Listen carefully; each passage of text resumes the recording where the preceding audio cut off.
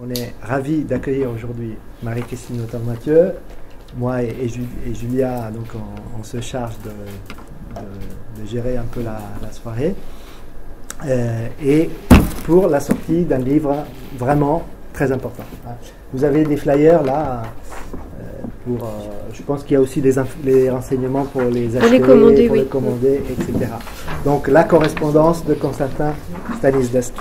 Alors, deux mots pour présenter Marie-Christine, que vous connaissez sans doute, et qui est directrice de recherche au CNRS, et qui est membre de l'unité comment Erorbem, qui est une structure composée d'enseignants-chercheurs de la Sorbonne Université et du CNRS.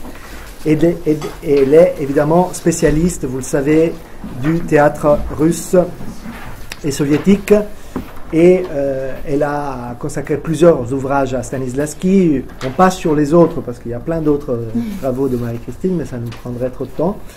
Euh, un premier ouvrage très important, paru en 2005, Le théâtre d'art de Moscou, Ramification voyage, qui est, qui est, un ouvrage qui a montré large, de manière très efficace la, la vasteté, la, la, la très grande, l'immensité des, relations qui partent euh, de Stanislavski du théâtre d'art, qui se, qui se déplacent partout dans, la planète. Euh, et non seulement à cause des tournées, mais à cause des, immigrations, de la diaspora. Hein. Euh, et puis, pour pallier l'absence de texte portant sur la dernière partie des recherches de, Stanislavski, on en parlera. Souvent, Stanislavski est enfermé dans des clichés et des, lieux communs qui ne devraient plus exister, et pourtant ils existent. Et notamment, donc, euh, Marie-Christine a, fait une sélection d'extraits des œuvres de, de Stanislavski euh, autour de la question des actions physiques, hein, dans la partie terminale de, son activité de recherche. Donc Stanislavski, la ligne des actions physiques, qui est parue à l'entretemps en 2007.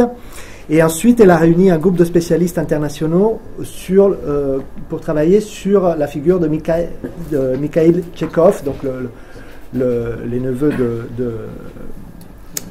de Anton. Mikhail Tchekhov de Moscou à Hollywood, du théâtre-cinéma, publié toujours à, l'entretemps en 2009. Et puis, euh, euh, cet ouvrage a été retravaillé, complété à la demande des, éditions anglophones Routledge, en un volume collectif.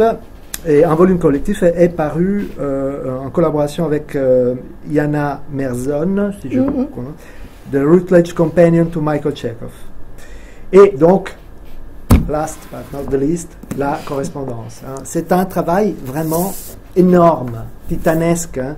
non seulement pour la traduction, mais aussi pour la, la, la, direction de l'ouvrage. Alors, je, si j'ai bien pas mal compris, il y a 317 lettres, mais le fond on comprend au moins 1460. Donc, le choix, le tri, la traduction, euh, il s'agit de lettres de Stanislavski, il n'y a pas de donc euh, dans une seule direction. Il n'y a pas de lettre de Tchekhov à Stanislavski hein, ou, de Danchenko à de Nemirovitch à Danchenko Stanislavski, et euh, donc c'est énorme. Euh, et d'une rigueur historiographique vraiment remarquable. Je, tiens à le souligner. Les notes de bas de page sont un modèle de clarté et une mine de renseignements. Le, lecteur, même le moins spécialiste, n'est jamais perdu hein, dans, l'univers gigantesque du théâtre russe avant et après la Révolution. Euh, puis, euh, chaque période est euh, agrémentée de chronologies extrêmement détaillées, extrêmement utiles, et surtout, il y a une chose que j'adore parce que moi j'ai jamais eu un outil aussi utile sous les yeux, c'est un glossaire du système de Stanislavski qui est un, outil extraordinaire pour balayer plein, plein, plein d'idées de, reçues sur, sur le, travail de Stanislavski. Et c'est un travail en plus qui, au-delà du cas spécifique de Stanislavski, et on aura beaucoup de choses à dire là-dessus, euh, euh, montre à quel point la recherche basée sur les correspondances est, à mon avis, euh, une voie centrale et irremplaçable de l'historiographie théâtrale. C'est une idée que j'ai mûrie depuis longtemps et, que ce livre, cet ouvrage confirme de manière éclatante. C'est-à-dire que dans, l'histoire de la littérature, on le sait, au moins depuis la, fameuse correspondance Flaubert-Louis Collet et, plein d'autres, on sait que euh, les documents épistolaires sont précieux pour pénétrer dans la fabrique euh, du créateur, de l'écrivain. Eh bien, je crois que pour, euh, les hommes pour les gens de théâtre, cela est valable deux fois, d'une certaine manière. Parce que ces artistes de, l'éphémère sont presque obligés d'y consigner euh, les projets, les idées et même les outils concrets de leur propre travail de création.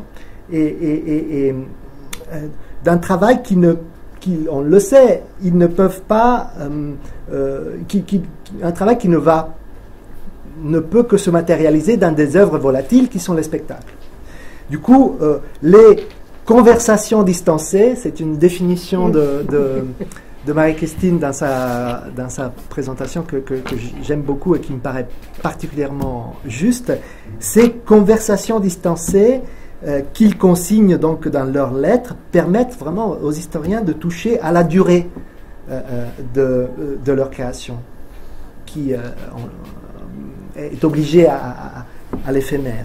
Et peut-être davantage que leurs écrits théoriques ou leurs manifestes, parce que on, va les saisir sur le vif de, leurs relations intimes. Relations intimes avec leurs partenaires de travail, mais aussi avec leurs partenaires de vie. Et, c'est vraiment quelque chose. Euh, euh, Julia peut-être nous dira quelque chose là-dessus parce qu'elle dirige un, festival sur la correspondance. Moi, je pense que c'est un champ de travail fondamental pour les études théâtrales. Et, euh, et, en, fait, en effet, pour revenir à Stanislavski, comme le dit Marie-Christine dans, sa préface, introduction, ce corpus de lettres constitue un document d'histoire politique, esthétique et privée. Voilà, voilà les choses que j'avais envie de dire. On va procéder de la manière suivante. Marie-Christine va nous donner, faire une petite introduction sur Stanislavski.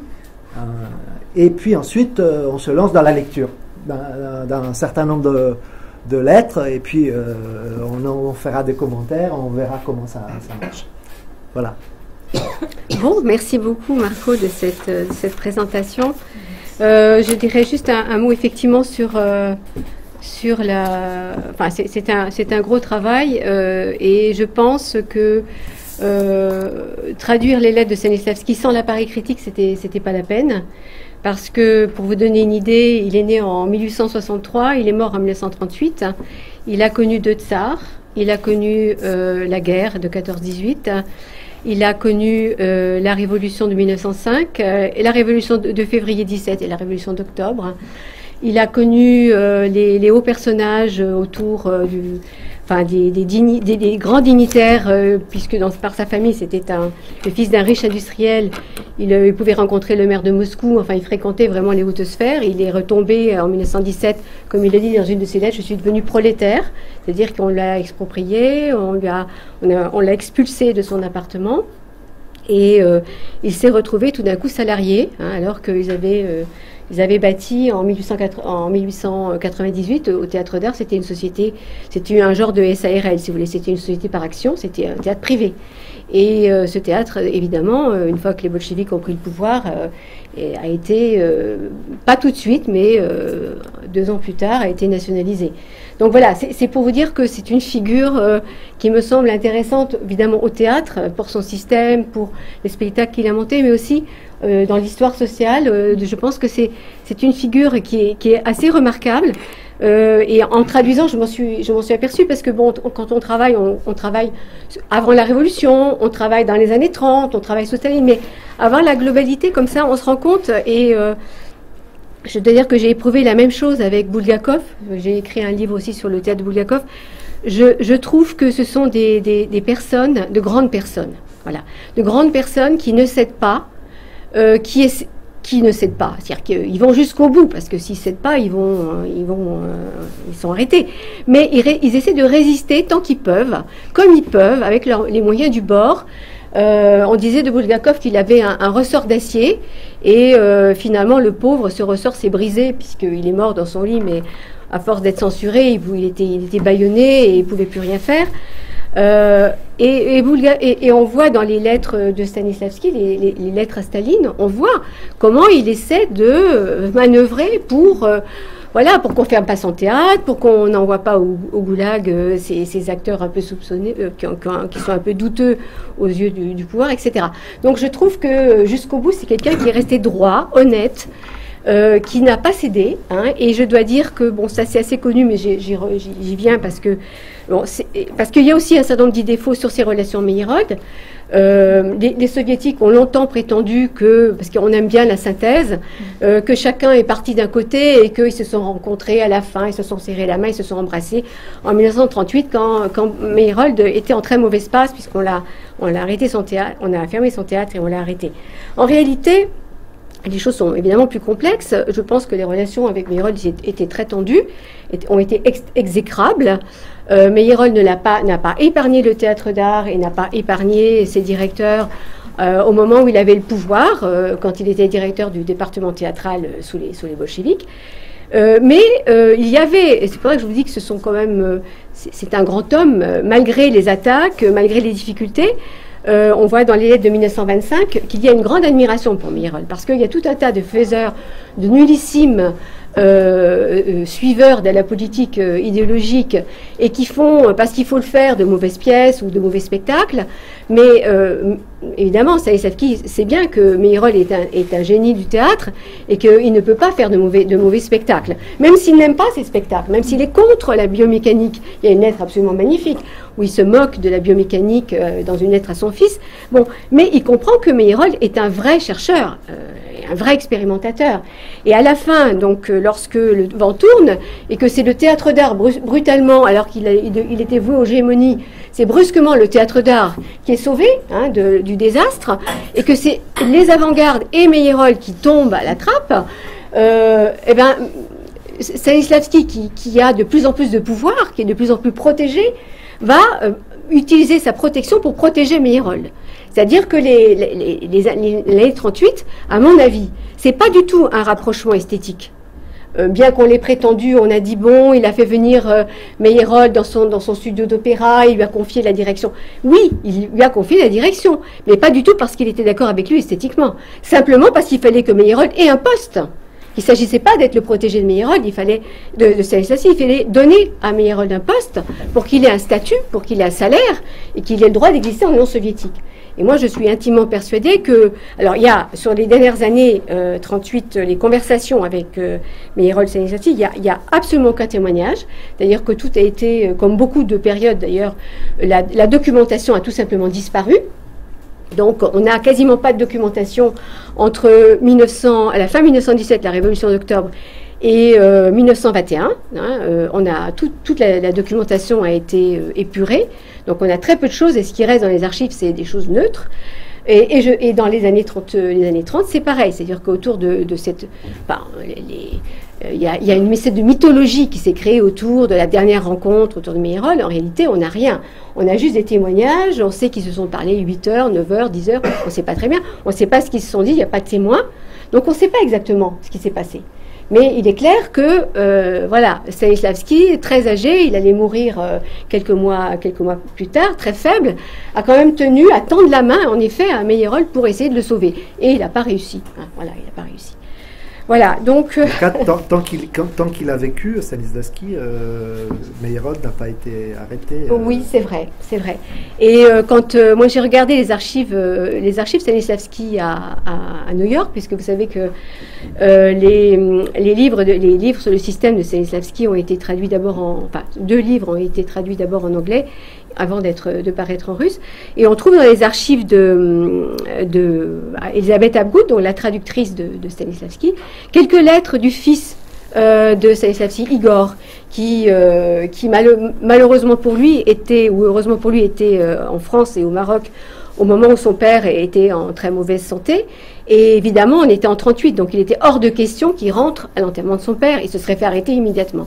Donc, euh, Lilina, donc sa mère, euh, et la femme de Stanislavski, lui donne des nouvelles de, Stanislavski. Et euh, Lilina, elle lui écrit, quand, elle lui raconte donc par lettre la mort de son père, lequel il, a, sur lequel il n'a aucun témoignage. Et elle lui dit, maintenant que papa est mort, euh, tous ces protégés, que vont-ils devenir? Ça veut dire que, voilà, on ne sait pas quels sont exactement ces protégés, mais il en protégeait un certain nombre. Et euh, voilà, et effectivement, il y, a, un certain nombre de têtes qui sont tombées, en, particulier Maria Knebel, qui était une de ses dernières élèves, et dont on pensait qu'elle allait être une héritière, et en fait, Maria Knebel a été écartée par euh, Mikhail Kedrov et d'autres qui, euh, voilà, qui ont voulu être, se, proclamer les, successeurs.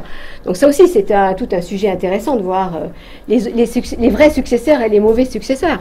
Euh, Lilina, dans sa correspondance avec, avec son fils, euh, euh, bon, elle est certainement partiale, mais bon, elle dit, par exemple, que Kedrov fait n'importe quoi, qu'il n'a rien compris aux actions physiques, etc. Bon, donc c'est très compliqué, hein, c'est un héritage très compliqué. Et c'est une vie très compliquée. Voilà. Donc je pense que je pense qu'à travers Stanislavski, on, on, voit, on voit vivre la Russie, on voit les difficultés énormes, énormes. Moi, je, franchement, je n'imaginais pas euh, même si on sait que la guerre civile, c'était terrible, même si on sait que les gens souffraient de la faim, du froid, etc. Mais quand on voit cette histoire sur l'exemple concret, d'un grand théâtre, un des plus grands théâtres de Moscou, quand on voit au quotidien que les comédiens n'ont plus de, n'ont pas, non, pas, évidemment, ils n'ont pas, ils sont pas rémunérés. Hein, euh, ils, ils, sont devenus salariés, mais les salaires n'arrivent pas. Donc, ils sont obligés de troquer des costumes contre euh, des choses à manger. Euh, le théâtre n'est pas chauffé. Le, le Bolchoï, par exemple, j'ai travaillé un petit peu sur les années de, au moment de la, où les théâtres vont être nationalisés.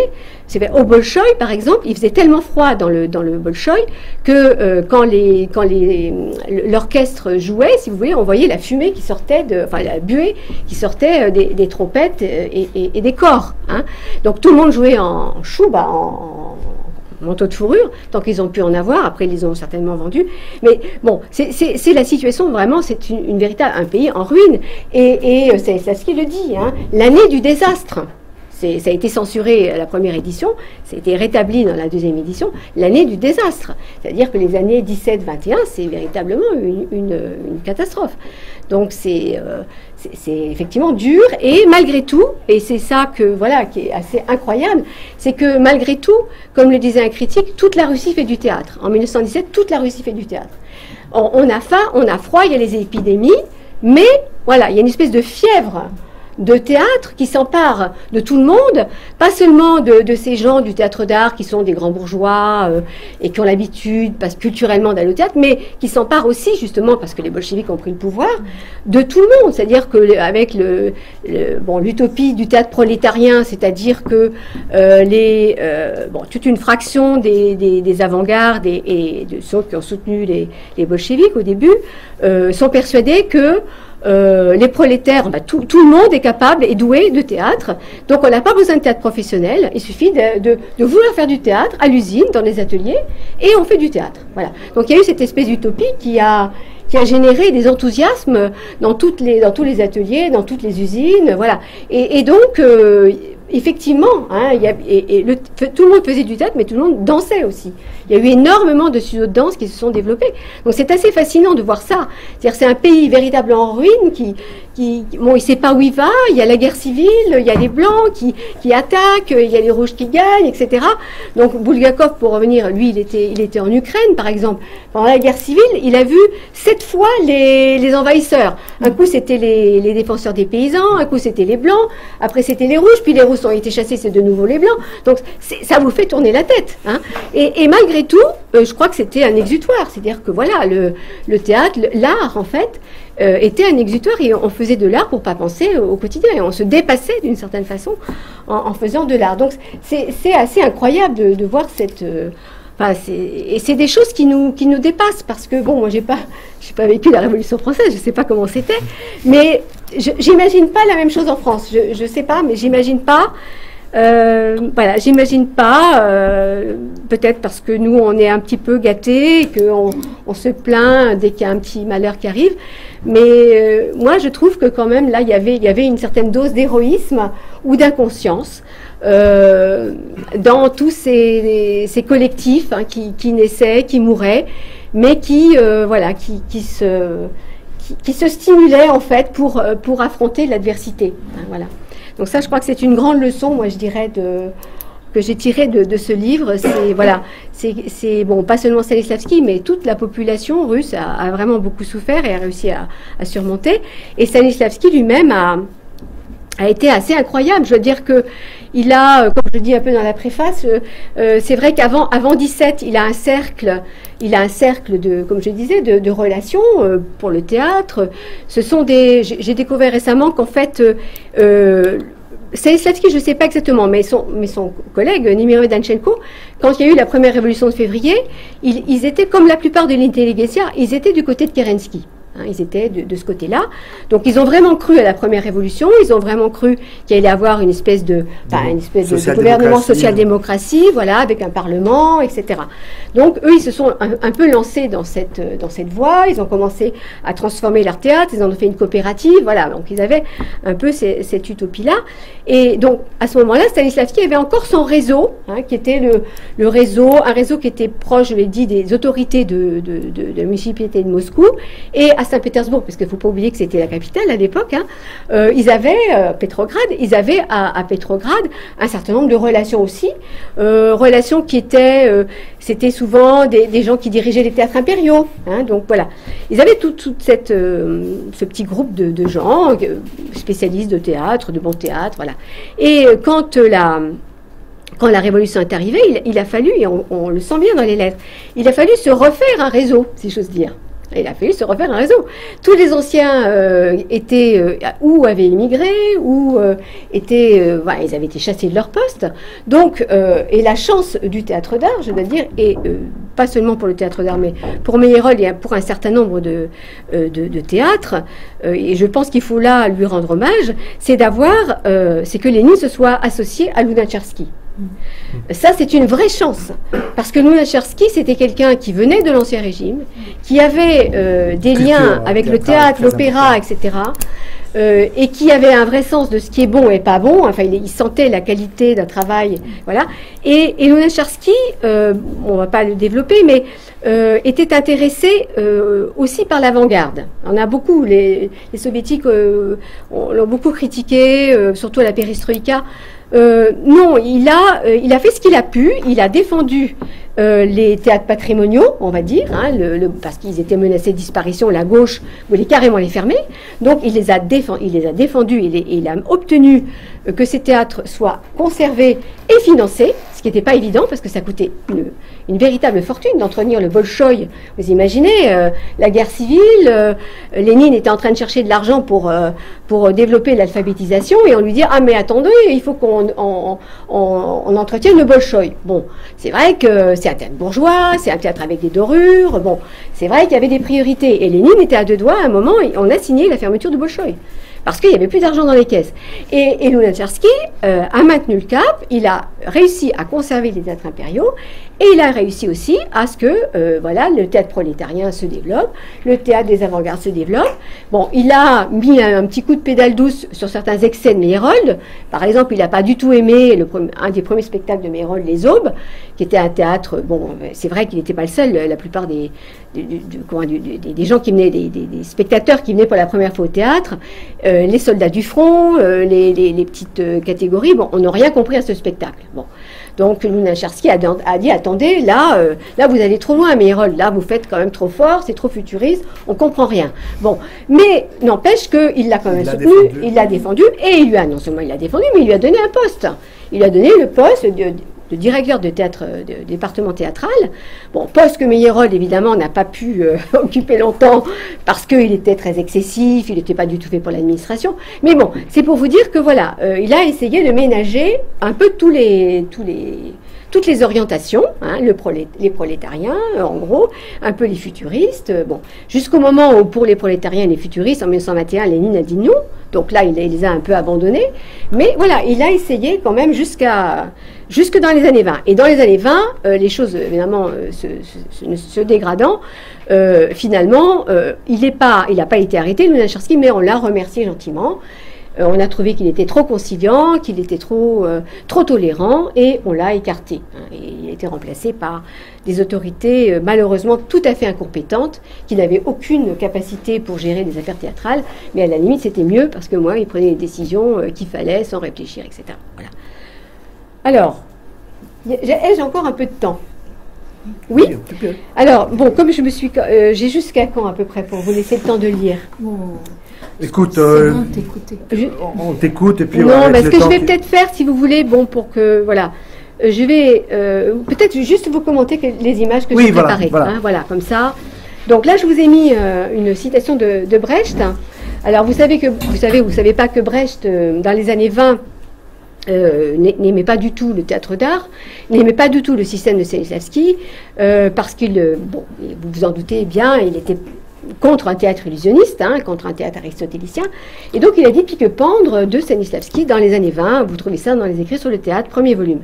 Et puis, euh, sous le, comment dire, un peu sous la pression, hein, euh, puisque vous savez que Brecht est retourné euh, en Allemagne, en RDA, hein, et que donc en RDA, Stanislavski était devenu une espèce d'idole.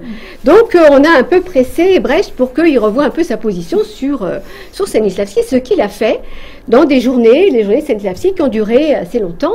Et donc là, alors, il, a, il, est revenu sur, sur ses positions, de manière toujours aussi rusée et intelligente, et il, a, il, a, il a convenu que d'abord, premièrement, il n'avait pas en main tous les textes de Stanislavski et certainement pas les, derniers textes sur le système, sur la méthode des actions physiques. Donc il pouvait difficilement juger euh, de, l'étendue de la recherche de Stanislavski, n'ayant pas à sa disposition un certain nombre de textes, puisqu'il n'avait pas, il ne lisait pas le russe.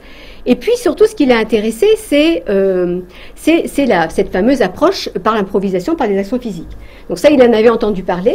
On lui avait rapporté un peu ce qui se faisait à Moscou, et donc là-dessus, il était absolument d'accord. Voilà.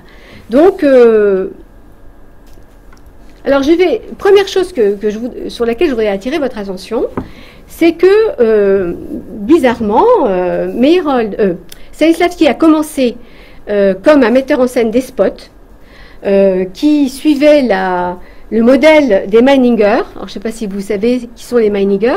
C'est une troupe euh, de, privée allemande d'un duc.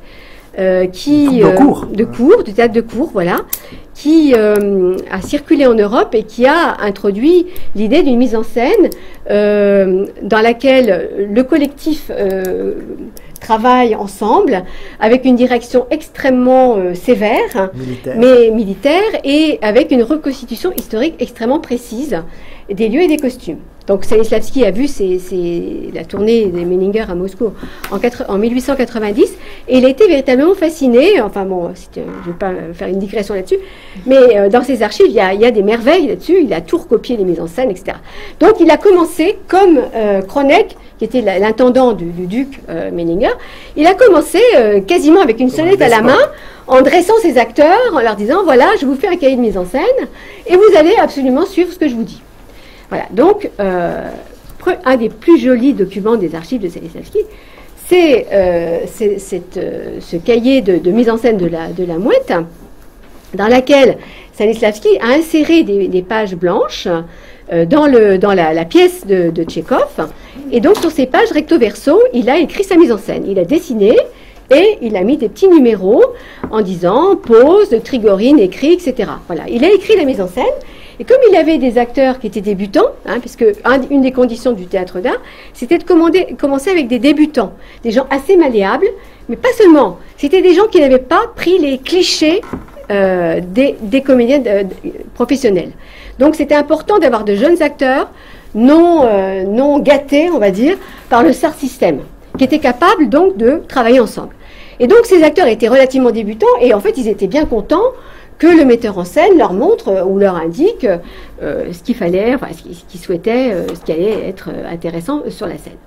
Alors pourquoi j'ai sorti cette, maquette, vous voyez, tout à fait postérieure, c'est pour vous montrer que la première donc euh, la, mouette, c'est 1898. C'est le spectacle inaugural du théâtre d'art. Et donc, pour ce spectacle inaugural, et pour un ensemble de spectacles d'ailleurs sur un certain nombre d'années, le théâtre d'art va, utiliser euh, le travail d'un peintre réaliste qui s'appelle Victor Simov. Donc à l'époque, Victor Simov, c'était relativement novateur. Hein. Il a fait, alors je vais vous montrer, euh, je vais passer vite. Voilà, c'est lui qui a conçu le décor de Tsar Fyodor Ulanovich, qui était aussi un grand spectacle, qui a eu énormément de succès, en particulier lors de la tournée aux États-Unis, parce que les Américains étaient épatés euh, de voir reconstituer euh, le palais, le palais du Tsar, les costumes extrêmement authentiques, etc. Voilà. Donc, vous voyez Victor Simov, 1898, 1900, etc. Et vous voyez donc que là, on est en 1927. C'était juste pour vous montrer, dans un raccourci d'image, euh, à quel point, si vous voulez, l'esthétique soviétique revient à, un réalisme largement dépassé. Hein, on est en 27 et on revient avec Simov à un décor, j'aime pas le terme de naturalisme, mais réaliste, on va dire, euh, voilà, pour que on les, euh, parce que c'est l'esthétique qui va dominer, avec le réalisme socialiste, bien sûr. Voilà. Alors, donc en 1927, le théâtre d'art est obligé et forcé de célébrer l'anniversaire de la Révolution, et on lui impose cette pièce, blindé. Et Stanislavski, je ne sais pas si vous vous souvenez dans la correspondance, dit train blindé est autorisé, j'aurais préféré qu'il soit interdit. voilà. Donc ils sont obligés, et c'est un spectacle absolument fondamental, parce que jusque-là, ils ont résisté tant qu'ils ont pu. En 27, on les oblige à monter cette pièce, hein, euh, qui est d'ailleurs à l'origine une nouvelle, qu'ils sont obligés d'adapter. L'auteur recommence 50 fois la version pour que ce soit autorisé. Bref. Et, euh, et voilà. Et donc, avec ce spectacle, euh, les autorités politiques les reconnaissent comme un théâtre qui est véritablement soviétique. Jusque-là, on les avait critiqués en disant ah, c'est un peu douteux ce que vous faites, ouais, c'est pas convaincant, c'est pas vraiment idéologique. Là, en 27, ça y est, alors la presse est dithyrambique, alors que le spectacle, à mon avis, n'était pas franchement génial. Mais voilà, ils ont fait leur acte euh, d'allégeance et à partir de là, on les considère comme théâtre Alors voilà, pour vous dire aussi qu'on revient un peu à l'esthétique d'avant, c'est les fameuses scènes de masse, hein, qui sont quand même la, carte de visite du théâtre d'art. Et voilà, là, alors on avait une scène de masse particulièrement remarquée et euh, il y a un petit enregistrement, comme c'était un spectacle pour les, pour les, soviétiques absolument symbolique, du ralliement du théâtre d'art à la révolution euh, bolchevique. Donc ils ont filmé le spectacle. Et donc cette fameuse scène où on a, enfin c'est absolument saugrenu, c'est-à-dire que, bon, je ne veux pas vous raconter l'histoire, bon, en gros ce sont des paysans de Sibérie qui défendent le pouvoir bolchevique. Et donc euh, il y a les troupes de l'intervention qui, qui font irruption. Hein. Donc dans les troupes de l'intervention, il y a euh, des, gens un peu de tous les pays, en particulier un Américain. Donc il y a un Américain qui fait prisonnier par les paysans sibériens, et euh, entre les paysans parlent, parlent, et tout d'un coup il y en a un qui parle de Lénine. Et voilà l'Américain qui entend Lénine et qui dit Lénine, Lénine Alors, et à ce moment-là, tout le monde crie Lénine hurrah et voilà, alors là, tout le monde est, content, et finalement, grâce à ça, euh, cet Américain qui connaît Lénine, en fait, on va lui épargner le peloton. Vous voyez, la, la hauteur de, l'intérêt de la pièce. Bon, passons. Alors, euh, autre euh, spectacle emblématique, ce sont les bas-fonds, où on est encore dans un décor de Simov, vous voyez, euh, très, très réaliste. Et vous voyez là Stanislavski dans le rôle de Satine.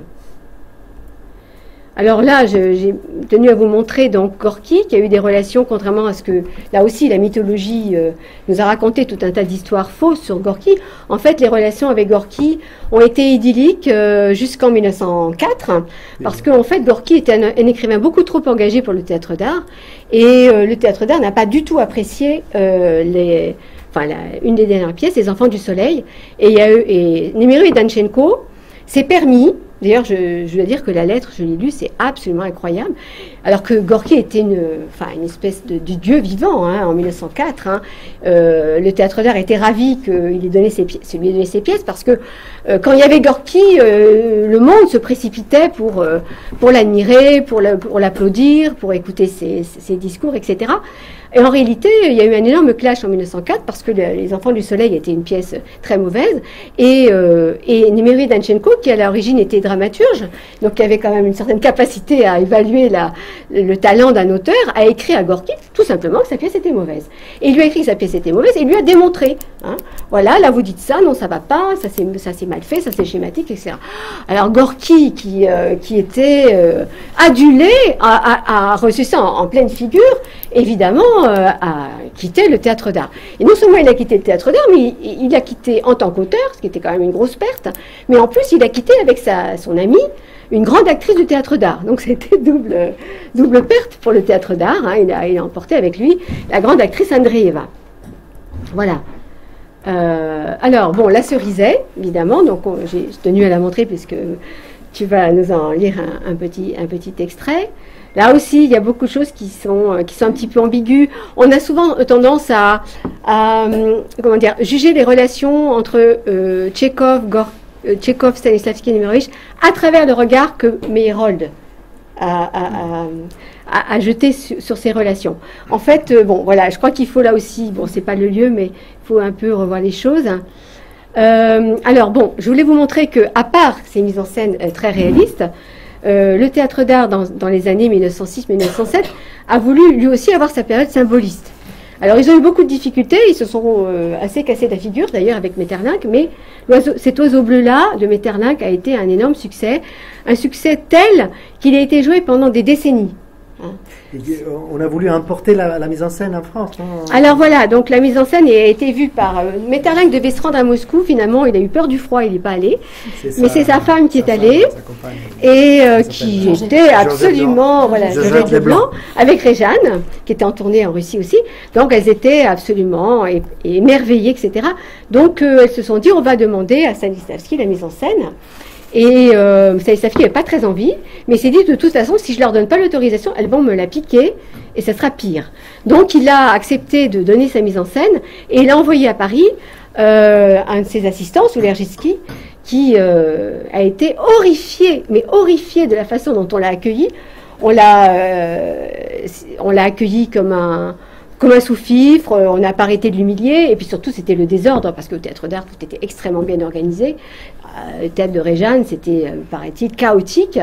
Donc c'était très très dur pour Solergiski qui, euh, qui avait un peu honte que le nom du théâtre d'art figure sur l'affiche, parce que c'était un petit peu être en dessous de, vraiment très en dessous de ce que le théâtre d'art valait pour lui.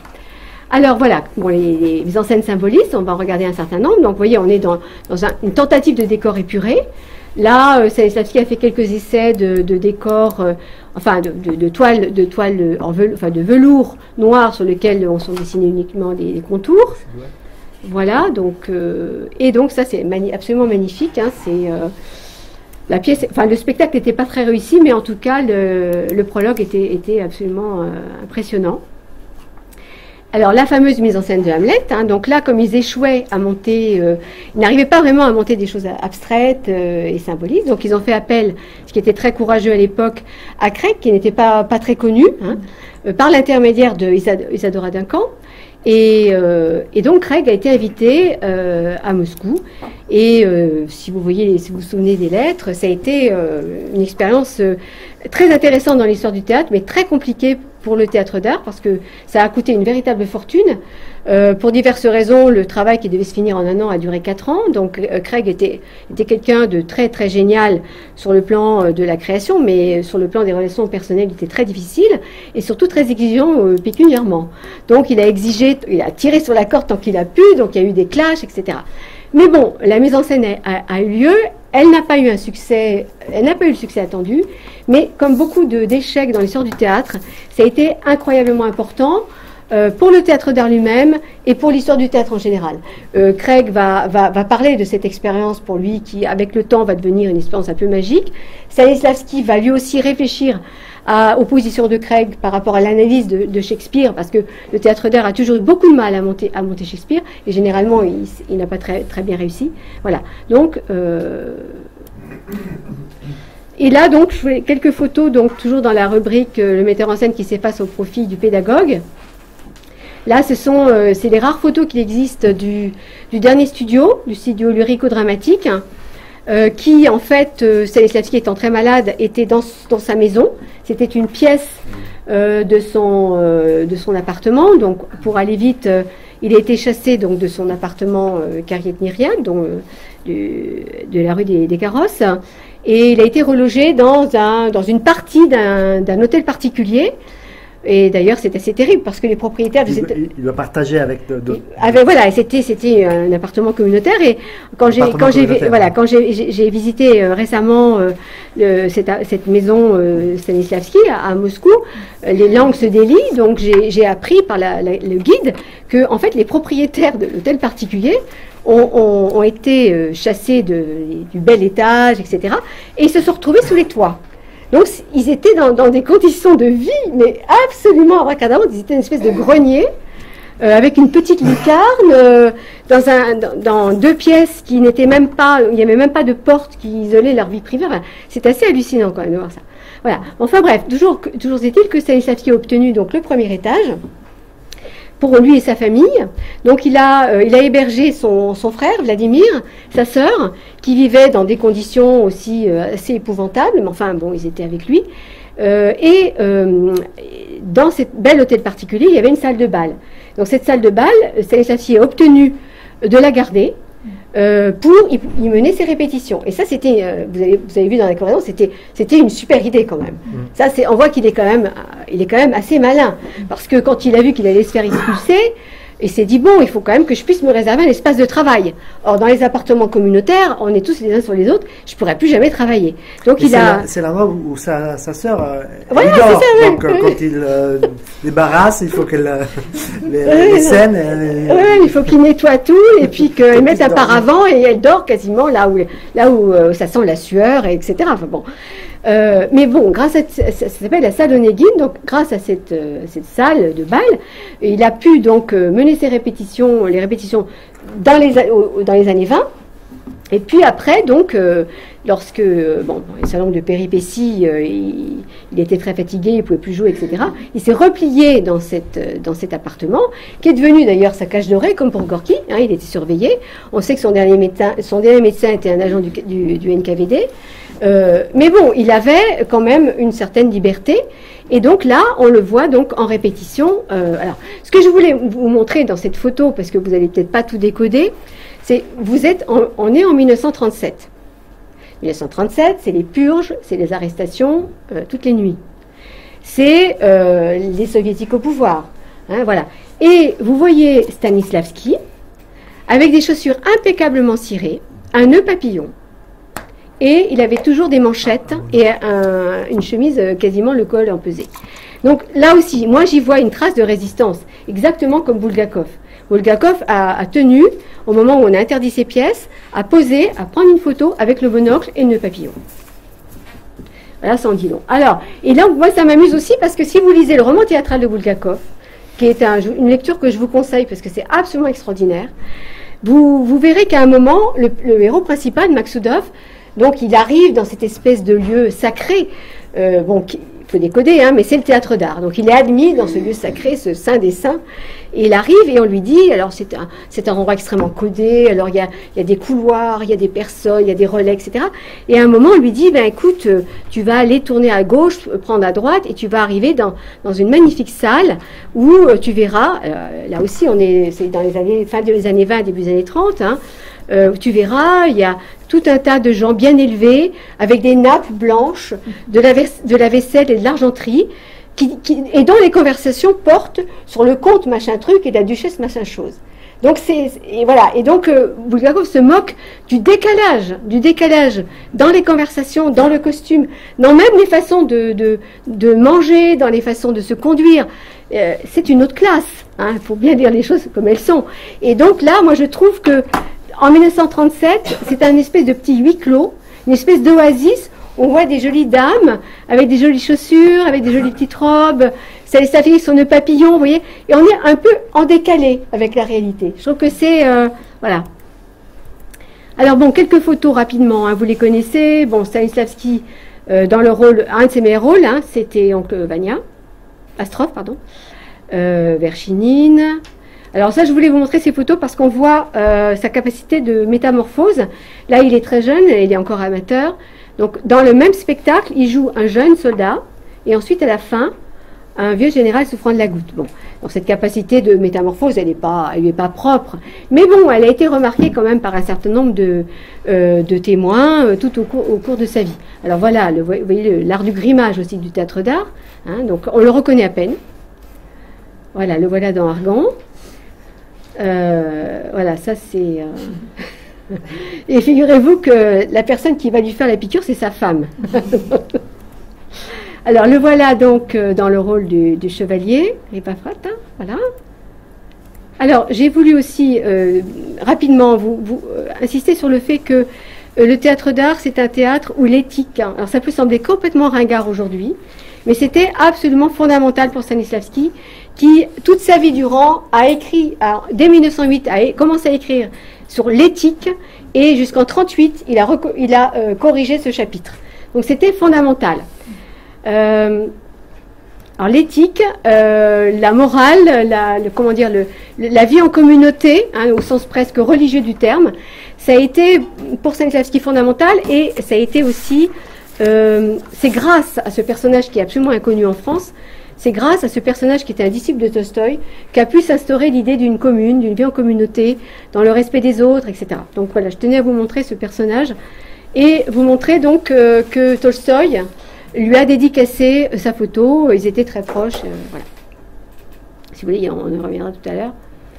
Voilà. Alors maintenant, le système, on va passer très vite. Bon, j'aime bien, c'est une, très belle euh, représentation du, système comme quelque chose d'organique, comme un système respiratoire. Hein. Voilà.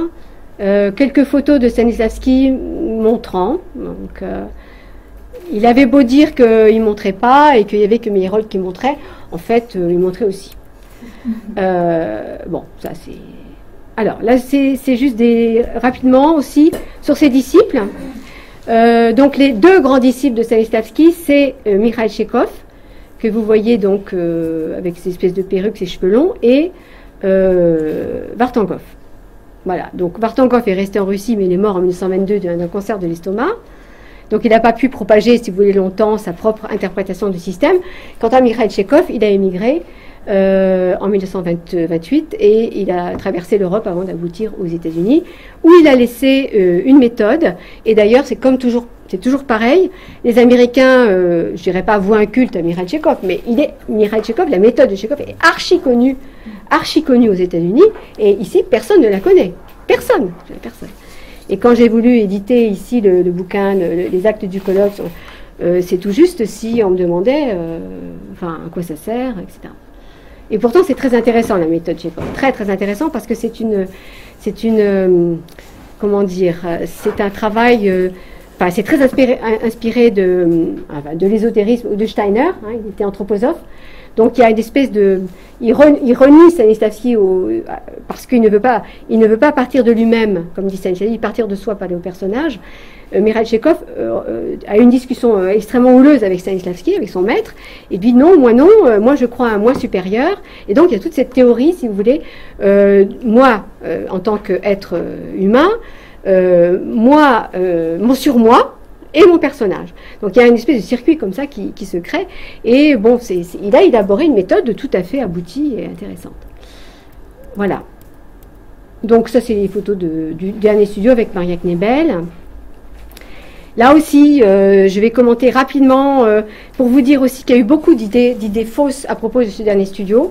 Moi-même, je me suis un peu laissé piéger, mais je crois que ce dernier studio lyrico-dramatique n'avait rien à voir, rien à voir avec les studios des années, des, premières années 10. Je crois que c'était, euh, on le voit bien dans les lettres. D'ailleurs, je l'ai découvert un peu en traduisant. En fait, il s'agissait d'une espèce d'établissement scolaire, on va dire, supérieur. Ça n'avait rien à voir avec les communautés euh, utopiques de recherche. C'était quelque chose qui était très encadré, les professeurs étaient recrutés, ils étaient payés par l'État. Et, là, donc, on voit bien, bon, ce sont des, vous voyez, des élèves en, chemise blanche. Euh, bon, voilà. Donc, euh, l'esprit est, complètement différent. Et dans la correspondance, je ne sais pas si vous avez, vous en souvenez, il y a une lettre assez terrible où Stanislavski, donc, comment dire, ne peut pas le dire directement, mais il le dit quand même. C'est la lettre à Elisabeth Abgood. Euh, des années 30 où il dit voilà, euh, après deux ans d'interruption dans la correspondance, euh, il dit voilà, je vais vous raconter un peu ce qui s'est passé, j'ai été malade, etc. Et figurez-vous que l'État m'a accordé un, dernier, parce que l'autorisation d'ouverture de ce studio, c'est Staline qui l'a donné. Hein. Et 1935, Staline, et l'argent a été donné par Staline aussi. Donc c'est pas, vous voyez, c'est pas anodin. Donc si vous voulez, le, Stanislavski, à mot couvert, et en disant, mais c'est très bien, mais c'est très bien, mais à mot couvert, il explique qu'en fait, dans ce studio, on pratique la délation. C'est-à-dire que dans ce studio, il y a un journal mural, Et euh, voilà, ceux qui ne sont pas contents de, leur, de leurs collègues ou de leurs petits camarades vont l'écrire sur le journal mural. Et donc, euh, il y a une discussion. Et dans le prochain journal mural, eh ben, ceux qui ont été critiqués sont censés. Euh, voilà. Donc, oui, c'est une atmosphère qui n'a absolument rien, rien, à voir avec les, avec les studios du début. Voilà. Donc, dernière, dernière photo, répétition de Tartuffe qui n'aura pas le temps de, de monter. Tartuffe sera sera euh, monté par euh, la personne que vous voyez à côté de lui, Mikhail Kedrov. Non, non, Kedrov, c'est Kedrov qui a monté. Non, Kedrov, Toporkov était un, de ses grands, euh, grands acteurs, mais voilà, et une de ses dernières photos. Voilà. Merci beaucoup. Merci beaucoup, Marie-Christine. On pourrait parler des heures et des heures. Hein.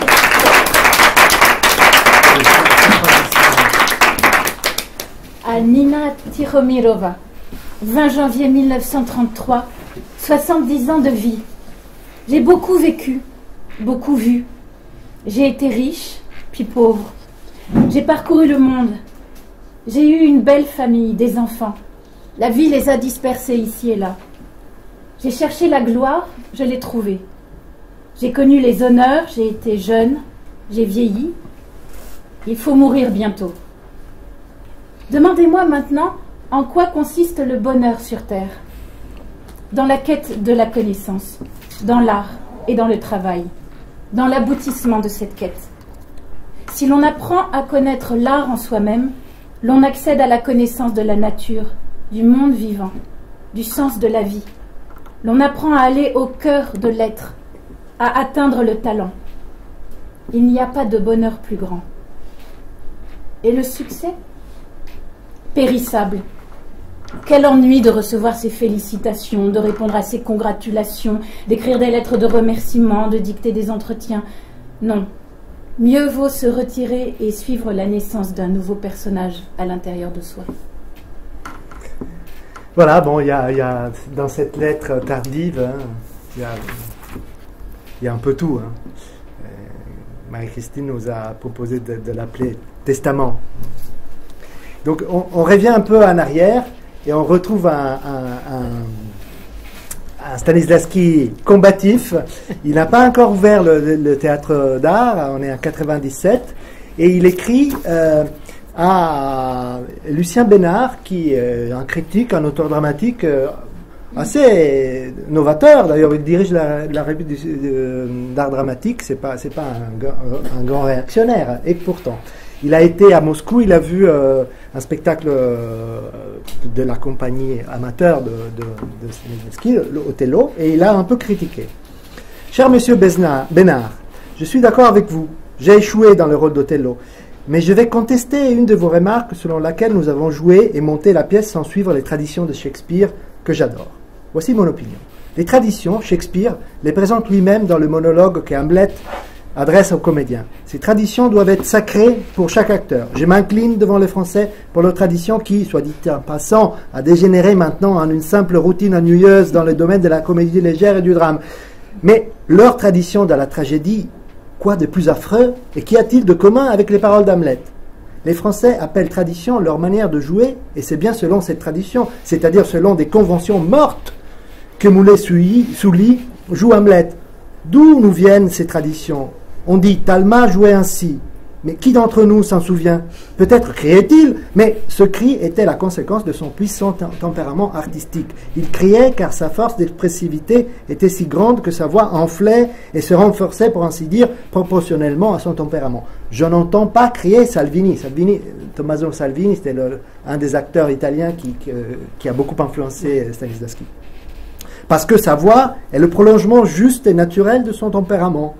Mais quand le minuscule Mounet-Souli enfle, écrit de toutes ses forces afin d'exciter ses nerfs et ceux du public, je pense involontairement à la fable de la grenouille qui veut se faire aussi grosse que le bœuf, et je me dis, quel dommage que ces puissants talents soient déformés par des pseudo-traditions créées non pas par des génies, mais par des nullités. Et c'est bien ce qui se passe. Le génie s'inspire de la vérité, de la beauté, de la vie, tandis que la nullité a besoin de paravent pour cacher la pauvreté de son talent et de sa fantaisie. Voilà pourquoi elle a inventé des traditions. Aujourd'hui, on a inventé tant de traditions et de règles que Shakespeare est incompréhensible pour le grand public et que Molière a complètement cessé de faire rire. À quoi cela est-il dû? Je l'affirme, aux traditions. Jugez-en vous-même. Shakespeare serait-il satisfait de l'interprétation de Mounet-Souli dans, Hamlet, lui qui a écrit Si vous braillez comme font beaucoup de nos acteurs, j'aimerais autant faire dire mes vers par les de la ville. Je coupe un peu. Maintenant, quelques mots sur Molière. J'ai été ce printemps à Paris et j'ai vu à la Comédie Française L'avare et les misanthropes. Savez-vous à quelle conclusion j'en suis arrivé? Que les pires ennemis de Molière sont les artistes de la comédie française. Ce n'est pas une tradition, mais plutôt un stupide entêtement que d'assécher un grand auteur comme ils le font. Vous m'écrivez, je m'en souviens, les traditions sont grandes justement parce qu'elles aident les petits acteurs à interpréter correctement Molière. Par ces mots, vous jugez durement la manière traditionnelle de jouer Molière. Je dis par exemple Coquelin, cadet, à Moscou, jouer l'avare dans l'interprétation d'une très très mauvaise troupe, et cette même pièce je viens de la voir, la comédie française, avec les Loirs. Que c'est son nom, dans le rôle principal. Eh bien, il n'y a aucune différence. Quel que soit celui qui joue Molière, selon la tradition, c'est toujours ennuyeux. Que Tartuffe soit joué par Coquelin, l'aîné ou par Fèvre, aucune différence. Oui, vous avez raison. Un acteur sans talent ne gâchera pas le rôle en jouant selon la tradition. Cependant, dites-vous bien que s'il suit la tradition, un acteur génial ne grandit pas le rôle. Pourquoi? Parce qu'il n'a rien à créer, tout a été déjà, tout a déjà été prévu par la tradition. Il n'a plus qu'à copier ses prédécesseurs sans talent. Un génie ne peut jouer sur commande selon des, normes établies une fois pour toutes. Il doit créer. Et pour cela, il faut un espace où développer sa fantaisie et sa créativité. Euh, il, est déjà, il était déjà pleinement dans la, ligne qui va suivre après. Les artistes de la comédie française, dans les rôles de Molière, ne sont pas des êtres vivants, mais des mannequins Voici pourquoi notre acteur russe Linsky a été le meilleur Tartuffe que j'ai vu. Il ne jouait pas selon une tradition, mais il avait créé son rôle et il était intéressant. La troupe des Meininger, qui, a joué Molière à Moscou, a eu un très grand succès, alors que toutes les troupes françaises ont échoué, en commençant par Coquelin l'aîné et en finissant par Coquelin cadet. Ces derniers l'a prouvé avec évidence cette année. Le public l'a trouvé repoussant, repoussant avec ses grimaces. Or, ne suit-il pas la tradition en jouant Molière? Il n'a soulevé absolument aucun rire, et ce n'est pas Molière qui le public est allé voir. En revanche, aux représentations de ces pièces de Molière par les Meininger, le public a afflué, et il était mort de rire. Et pourtant, les Allemands ne sont pas les maîtres du rire. Comment l'expliquer? Les Français ont joué selon les vieilles traditions des passés, et Molière est devenu avec eux ennuyeux et monotone. Les Allemands ont joué comme ils ont pu, mais en créant et ils en ont résulté, et il y en est résulté de la vie et des rires. J'ai moi-même ri de tout mon cœur chez les Allemands, et je n'ai pas souri une seule fois en voyant Coquelin. Je suis votre exemple, et j'ai dit ouvertement ce que je pense.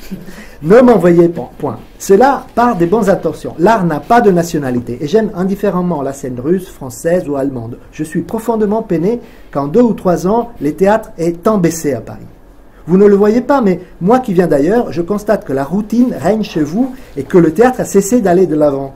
Le théâtre français a cessé d'innover un art. Et durant les trois euh, semaines de mon séjour chez vous, je n'ai rien vu de nouveau, rien d'original qui aurait pu m'intéresser. Les mêmes effets, les mêmes procédés, y compris dans les genres légers, les Français ont désappris à être drôles. Ils mettent et enlèvent leurs pantalons, couchent avec des femmes d'autrui, etc., etc. Mais c'est ni drôle ni fin.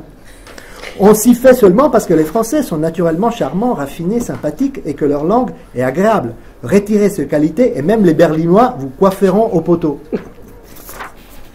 Tout m'a paru, à, Paris, tout m'a paru si vieux et rébattu. J'en suis sincèrement désolé car nous, les Russes, avons l'habitude de suivre ce qui se fait et se dit chez vous. Régnez au plus vite les traditions, la routine et nous vous suivrons et nous suivrons votre exemple.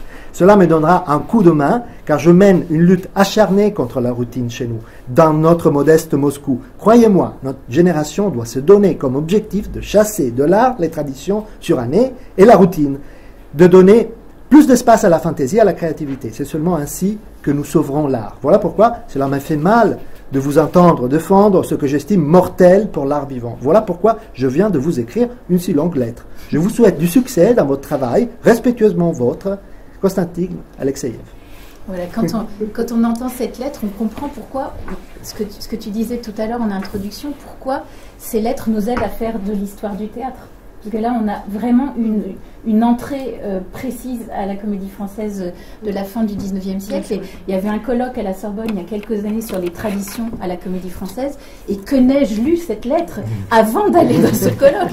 Ça m'aurait sans doute évité de dire euh, certaines bêtises, mais ou de, ou de corroborer certaines choses euh, par rapport à cette question de la, de la, routine. C'est les mêmes choses que, que écrit Copo quelques années. Mais il est dit, il, quelques, juste il, quelques écrit un années peu plus tard. Voilà. Là, là, on a vraiment. Et tu m'avais fait passer aussi quelque chose sur Sarah Bernard, une, la manière dont, dont, dont elle est perçue. Voilà, dont il percevait cette immense actrice. Ça, ça permet vraiment de comprendre. Puis il y a une autre chose dans le, la si belle lecture de Marcos, c'est qu'on comprend pourquoi le Festival de la correspondance de Grignan, dont j'ai la joie de m'occuper de. C'est un festival qui a 24 ans. Je m'en occupe seulement depuis 5 ans, mais je comprends pourquoi ce festival existe. C'est parce que ces correspondances, c'est des, des mines, c'est des mines d'or aussi pour les acteurs, parce que c'est vivant et parce que la, la, la, la, question de la conversation distancée, en fait, on a toujours la voix de l'autre dans la lettre. C'est ça. C'est-à-dire que c'est ça qui est extraordinaire, c'est que la lettre répond. Mais même quand on me dit ah oui, mais c'est dommage cette correspondance, on n'a pas la réponse de, donc c'est pas un vrai dialogue. Mais on n'a pas là. On, on s'en moque de ne pas avoir la lettre de, de Bénard. Parce qu'en fait, ce qui compte, c'est que on entend sa voix dans la voix de Stanislavski et dans la manière dont il prend euh, position. Donc c'est complètement vivant parce qu'il y, y, a une tension au cœur de la lettre, il y a des émotions de joie, de, d'envie de, de, bah de, de, faire table rase aussi de, tout, de tout ce vieux théâtre. Et c'est, assez... Euh, c'est assez enthousiasmant. Et quand vous lancez des comédiens là-dessus, ça peut donner le pire, le cabotinage, ça on n'est jamais à l'abri des catastrophes, mais ça peut donner aussi de très belles choses qui, euh, effectivement font beaucoup pour la connaissance des auteurs en tant que tels et qui donnent aussi des vrais moments de théâtre. Mmh. Alors, euh, une des, un des clichés, tu l'as, tu l'as dit, hein, autour de Stanislavski, c'est qu'il euh, aurait mal interprété euh, Tchekhov, l'aurait enfermé dans, un, dans une vision étriquée, naturaliste, avec les, les, les, les les bruits des oiseaux, des grenouilles et tout ça, ce qui est vrai. Dans, ce qui est vrai, oui. Mais en même temps, euh, on a trouvé des, il y a des lettres magnifiques à, à Tchekhov. Tu, tu, veux nous lire celle à, propos de la, de de la, la mouette. mouette? 10 septembre 1898, Andreevka. Très honoré Vladimir Ivanovitch, je le répète, je suis moi-même incapable de savoir si mon projet pour la mouette est bon ou s'il ne vaut rien. Pour l'instant, je ne sais qu'une chose, que la pièce est talentueuse, intéressante, mais j'ignore par quel bout la prendre. Je l'ai abordée au petit bonheur. Aussi, faites du projet ce que vous voulez. Je joins le quatrième acte à cette lettre. Je comprends tout à fait et je suis d'accord avec votre remarque. Évitez que les rôles de second plan n'écrasent les principaux au premier acte pendant la représentation de la pièce de Treplev. Toute la question est de savoir comment faire. Selon mon habitude, j'ai développé pour chaque personnage le dessin le plus large possible du rôle. Quand les acteurs l'auront assimilé, je commencerai à estomper ce qui est inutile et à mettre en relief le plus important. J'ai procédé ainsi de crainte qu'en suivant un canevas trop restreint, les acteurs ne deviennent de banals pantins de théâtre de marionnettes.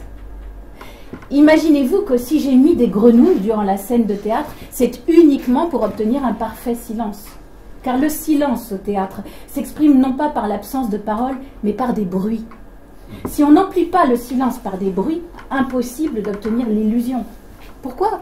Parce que les machinistes, les intrus en coulisses et puis le public dans la salle font du bruit et cassent l'atmosphère d'une scène. Souvenez-vous par exemple du final du premier acte de la cloche, de la cloche engloutie. Pour rendre le silence de la nature, que de sons Cinq personnes éparpillées sur le plateau sifflaient, soufflaient et jouaient de divers appos. J'ai choisi la grenouille en partie parce que j'ai le petit instrument qui, euh, qui imite très bien le son.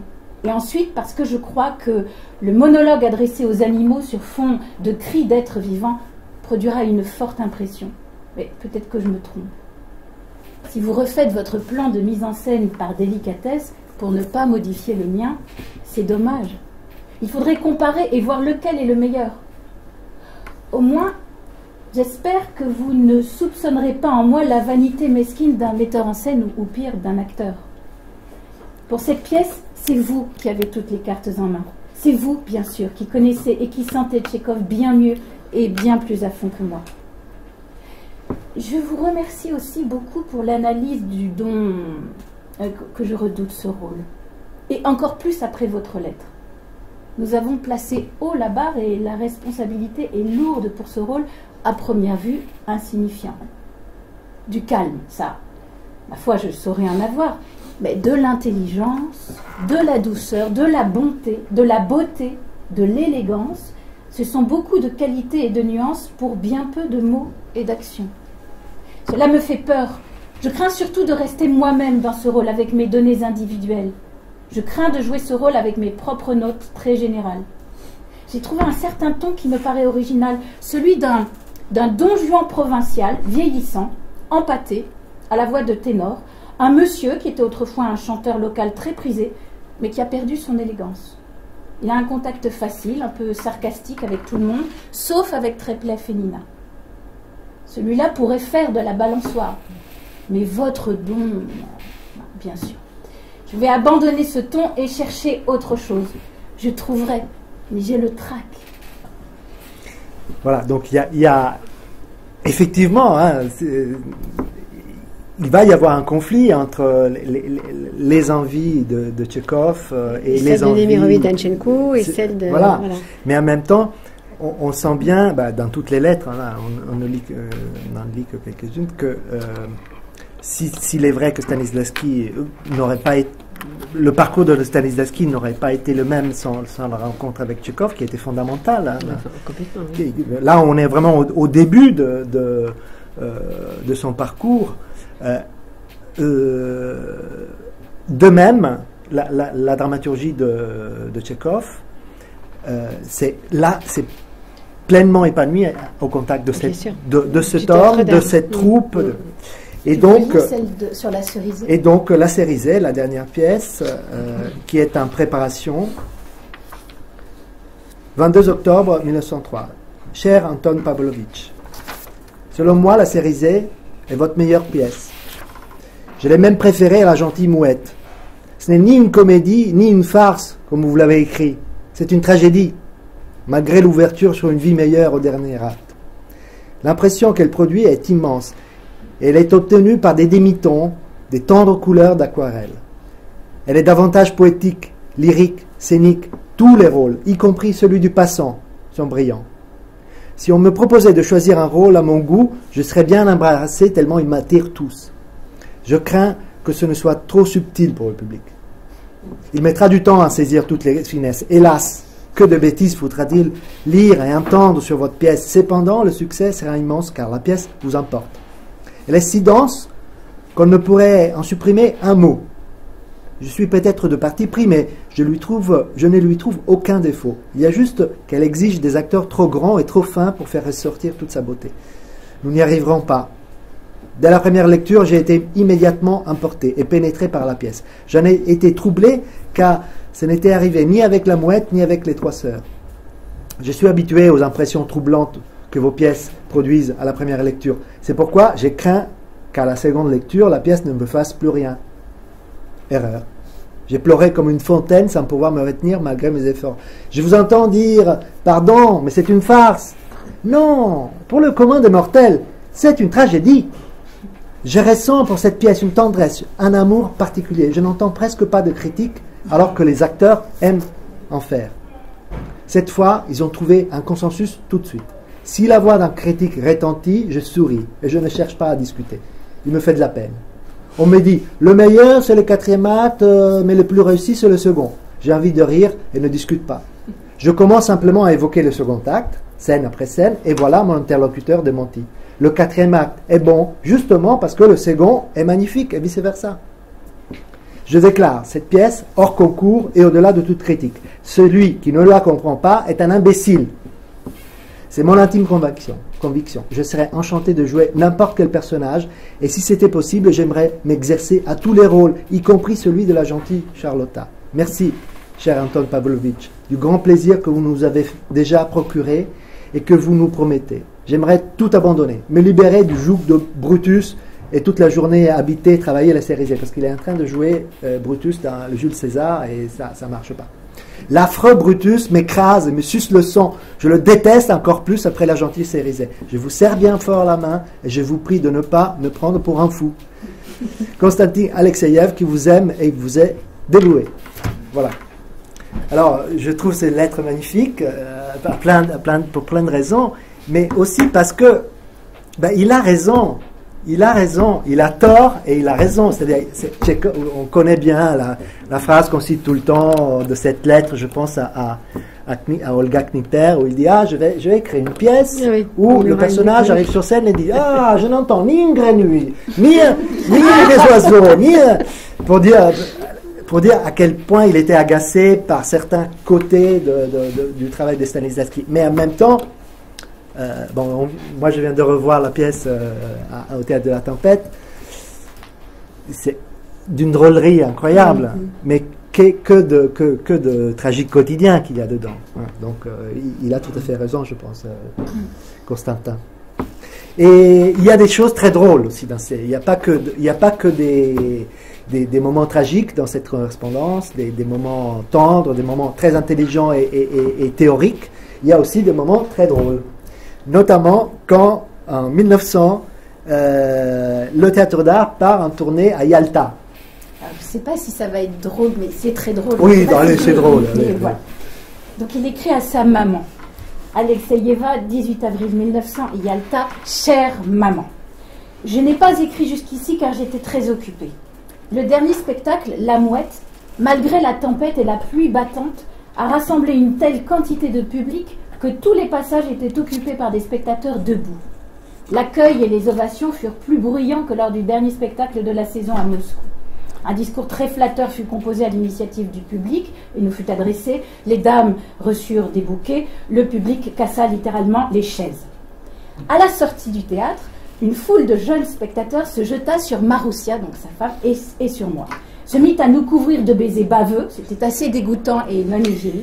Puis, il se produisit une scène des plus absurdes. Les jeunes gens voulurent me soulever et me porter. Ils m'empoignèrent par une jambe, par les bras, en me soutenant la tête.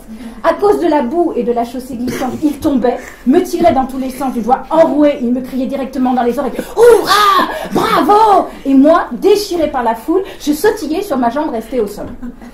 La procession, accompagnée du sifflement du vent et de la pluie, progressait ainsi dans la rue jusqu'à l'hôtel. Maroussia suivait derrière, entourée d'un groupe de femmes qui hurlaient, qui agitaient leurs fichus dans, le noir de la nuit. Effrayée par ces folles qui la couvraient de baisers baveux, ce qui était non hygiénique et pas du tout euh, agréable, pataugeant dans la boue, elle cria tue-tête Laissez-le, c'est Kostia, ça lui fait mal, le docteur l'a interdit, vous allez le contaminer. On m'a porté jusqu'à l'hôtel et là, les jeunes gens épuisés m'ont jeté sur le perron boueux. Les portiers sont venus à ma rescousse. Tout ceci fut incroyablement solennel. Solennel. Nous savons maintenant ce que sont les lauriers provinciaux. Bon. Mais, mais il y a aussi, eh ben, évidemment, il y a, il y a- il y a beaucoup de, de lettres très sérieuses, à part les lettres tragiques, hein, carrément tragiques, euh, qui, qui nous donnent des, des entrées euh, intimes sur, sur sa recherche, sur le système, etc. On est en 1925, je, je lis celle-là. À, euh, alors il faudrait que tu me. Oui, à Sergei Baloukati, qui Ah oui. est un philologue, qui lui, a, hum, lui a demandé. euh, De publier ses cahiers de mise en scène voilà, de la mouette. Voilà, voilà. Mm. donc il doit s'expliquer. Euh, 14 février 25, Van- Moscou. Je vous, y- je vous suis très reconnaissant de votre attention, de votre demande. J'aimerais sincèrement vous aider dans votre intéressant travail.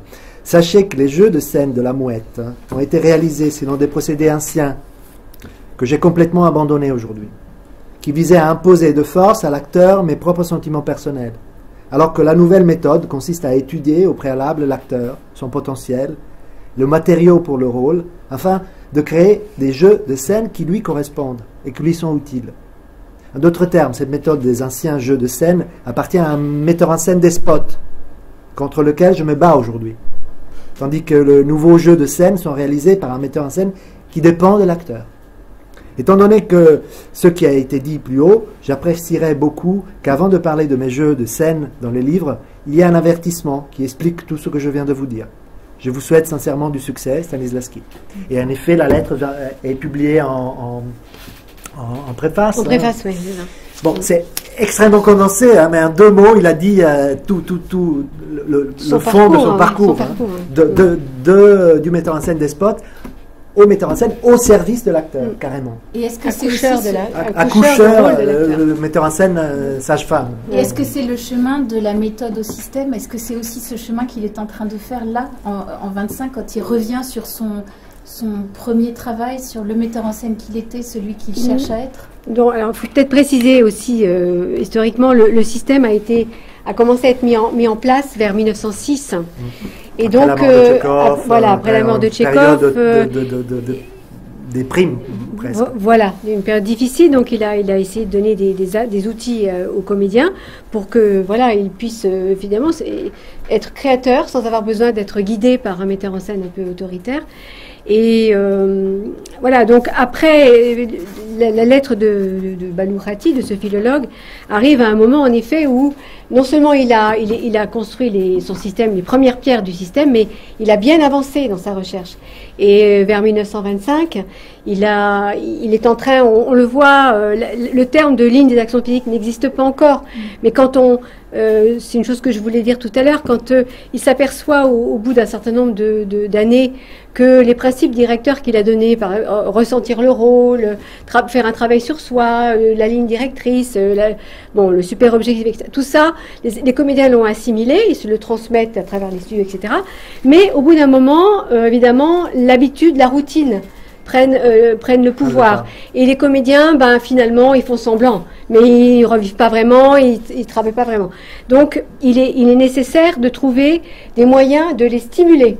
Et au moment où il répond à Balourati, euh, n'é- n'éditez pas mes, mes cahiers de mise en scène ou alors mettez une préface, il est en train de tester sur des pièces françaises, c'est assez intéressant, sur des mélodrames, sur des pièces où il faut bouger, où il faut, euh, euh, être extrêmement dynamique. hein. Il va monter le mariage de Figaro, il va manquer, monter les deux orphelines, hein, assez bizarrement. Des, des, des- Euh, parce qu'il a besoin, voilà, il a besoin que les comédiens bougent et qu'ils ne s'enlisent pas dans cette espèce de jeu ressenti qui devient euh, morne, euh, euh, ennuyeux, hein, et qui les fait pas, euh, qui les laisse un peu immobiles aussi physiquement. hein.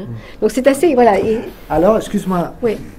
Alors que quelques temps auparavant, euh, il y a, il y a une- mais je- ça, ça m'est sorti de la tête, il y a une mise en scène qui est restée célèbre parce que les acteurs sont pratiquement immobiles. Ah oui, ça euh, c'est, oui, mais c'est bien avant, c'est 1909. Ah oui. Ah oui, ça c'était un, un pari absolument incroyable. ouais. Mais c'est- euh, moi à la campagne de Ah, Tourguenieff. moi, la campagne de Ah oui, ça c'est un, c'est un, quelque chose de, c'est un, spectacle vraiment très intéressant parce que euh, c'est de là, si vous voulez, qu'est parti Mikhail Tchekhov pour aller vers l'anthroposophie.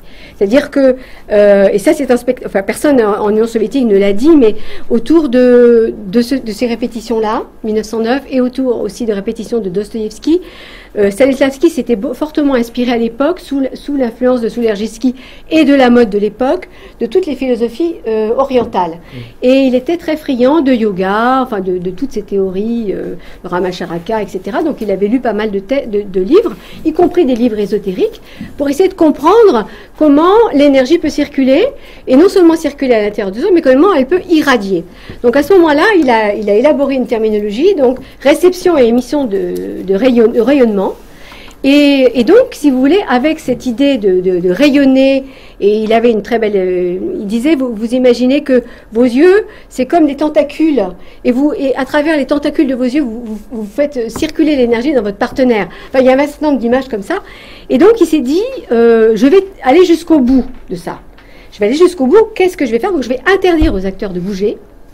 Et tout le travail sur la pièce de Turgenev, qui est un travail, alors il n'a pas choisi n'importe quelle pièce, c'est une pièce extrêmement psychologique, hein, une dentelle psychologique, des, relations entre l'amoureux, la, la, la femme, de, la maîtresse de maison, etc. Bon, Euh, mais il leur a interdit de bouger. Donc ça a été un- une véritable torture, les, les comédiennes pleuraient, euh, Olga Knipper sanglotait, et Stanislavski lui a offert un bouquet de fleurs pour s'excuser, en lui disant c'est pour le bien de la cause. Euh, donc il obligeait les comédiens à s'asseoir sur leurs mains, et euh, à dire la réplique uniquement avec le- les jeux de regard. Éventuellement, on pouvait un peu bouger les mains de temps en temps, mais c'est tout. Et donc, euh, il avait déjà testé cette chose-là sur juste une pièce avant, ça s'était euh, pas du tout bien terminé. Là, les répétitions étaient extrêmement nombreuses, ça a été encore une fois des scènes de torture. Il avait même inventé un système de notation du mouvement, comme la banne qui le fera plus tard, qu'il a abandonné parce que c'était trop compliqué. Mais n'empêche que euh, répétition secrète, à huis clos, personne n'avait le droit de regarder. Et à la fin, ça a été un triomphe. Donc, euh, et c'était un triomphe par rapport à, son, à, l'évolution de, sa recherche, mais c'était un triomphe aussi pour Tourgueniev, dont on disait, comme, comme pour Tchékov, que c'était un auteur non scénique, qu'on ne pouvait pas monter Tourgueniev parce qu'il n'y avait rien à jouer. Et il s'est dit, bon. Il n'y avait pas d'action. Il n'y avait pas d'action. Donc, après Tchékov, je vais prendre Tourgueniev et je vais donc prouver que c'est un auteur scénique et qu'en plus on peut jouer sans bouger. Voilà. Donc euh, c'est effectivement euh, et puis après bon il a effectivement il a progressé sans arrêt sans arrêt. C'était un homme qui n'arrêtait pas de chercher. Il le dit dans son testament. Hein, donc c'est ce qu'il aime. Ah bah oui c'est ce qu'il aime faire. et euh, mais toujours sur le système donc cette recherche infinie constante. Il y a une très belle lettre où il parle de, de son travail à lui sur euh, donc euh, ah, Salieri dans euh, Mozart et Salieri. Et c'est drôle aussi, mais c'est intéressant. intéressant tu, tu, peux nous dire qui était le, destinataire Benoît, c'est le, Benoît, c'était le, co-metteur en scène et, scénographe, oui. Donc il s'adresse au scénographe de la pièce Salieri. un, un, éminent membre du monde de l'art, du mouvement du monde de l'art. 1er avril 1915, Moscou. Cher Alexandre Nikolaïevitch, merci beaucoup et de l'article que vous m'avez envoyé, je l'ai beaucoup aimé, et du dessin du costume de Salieri et de ce que vous avez écrit au verso. Merci d'avoir compris les lubies d'un acteur. C'est incroyable, je le confesse. Tous ces jours-ci, je me suis sentie si affreusement mal que j'ai décidé de me faire soigner par l'hypnose auprès de Dahl. Quand je me réveillais le matin, et penser au spectacle de la veille, je me mettais à rougir, et j'étais saisie d'une sorte de langueur vive et brûlante. Je restais dans cet état jusqu'à ce qu'on vienne me tirer du lit. La nuit, je jouais jusqu'à ce que l'insomnie m'ait épuisée, et plus je répétais les mots, plus je les oubliais. Le jour, marchant dans la rue ou circulant en équipage, je me surprenais à chaque instant à répéter le texte sans arrêt, obstinément. Dans la journée, brisée, je me couchais et ne pouvais dormir, répétant sans arrêt le rôle. J'arrivais au théâtre tout à fait brisé. Je devais corriger un détail de mon maquillage pour me convaincre et, me conforter dans l'idée que j'avais trouvé quelque chose de nouveau. J'avalais une double dose de gouttes et, horreur, je buvais du vin en cachette pour me stimuler. Mais dès que j'enfilais le pantalon blanc et que je sentais qu'il me rendait gros, la maigreur peinturlurée de mon visage devenait aussitôt caricaturale. Tout mon moral s'effondrait, je tombais dans un total désespoir et je me sentais gauche, inutile, comique et surtout ridicule. Et qu'est-ce que je faisais en scène? Allez savoir. Je butais sur les mots, j'étais sur le point de m'arrêter. Plus j'essayais de secouer mon apathie et plus le public toussait. Hier, je suis arrivée dans ma loge dans un état d'esprit absolument abominable et j'ai senti que je ne pourrais pas enfiler le pantalon blanc, ou plus exactement que je ne pourrais pas le porter en scène. J'ai utilisé votre autorisation de principe et je me suis fait apporter un pantalon et des bas noirs. Je les ai enfilés et je me suis sentie libérée. L'assurance, la gestuelle sont apparues d'elles-mêmes. Complètement perdue dans le dessin intérieur de désespoir, j'ai décidé de lâcher la bride à ma voix et à mes gestes. C'est ce que les acteurs appellent jouer à plein. Et je l'ai fait. C'est très facile et j'ai senti que seul le désespoir peut conduire à cette solution honteuse. On m'a écouté comme jamais. Il y a même eu des tentatives d'applaudissements après le premier acte. À l'entracte, Mosvin a couru et, me, et me dit que c'est comme ça qu'il faut jouer. Je n'y comprends rien. Le second acte, je l'ai joué ainsi. Cette fois, il n'y a pas eu de chuchotement, mais une rumeur générale. Et à la fin, des tentatives d'applaudissements. On peut jouer ainsi dix fois par jour. Moslin et les autres approuvent. Il me reste maintenant une chose à faire, justifier cela par un vrai sentiment vivant. Je reçois aujourd'hui votre dessin, c'est ce changement-là que je me suis permis de faire. Merci encore. Je vous embrasse, je baise la main d'Anna Karlovna et je salue toute votre maisonnée. Votre Constantin Alexiev. Voilà, donc il doute énormément, il se contredit. Euh, Ouais, oui, et c'est même paradoxal parce que justement, c'est voilà, on c'est justement ce qu'il ne veut pas faire et c'est ce qui marche. Donc c'est très douloureux parce que voilà, aborder un personnage par le costume, par l'extérieur, c'est justement ce qui, c'est contre ça qui se bat. Donc voilà. Mais bon, c'est un être humain, c'est un, acteur et voilà, des fois le, la volonté euh, ne, peut pas, ne peut pas l'emporter.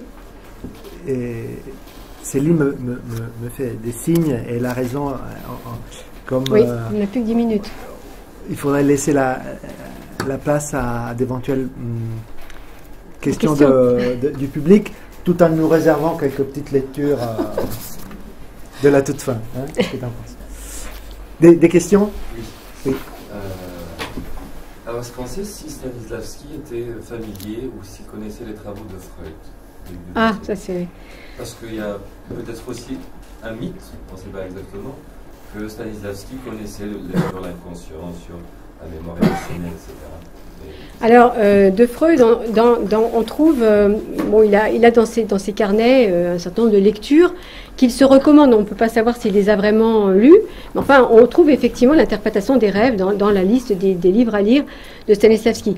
Alors, l'a-t-il lu à mon avis, ça, je pense qu'il l'avait lu, mais tout le monde l'avait lu. C'était Freud était un, enfin, lorsqu'il a été traduit quasiment tout de suite en, Russie, c'était un best-seller, donc tout le monde connaissait euh, les, livres de, Freud.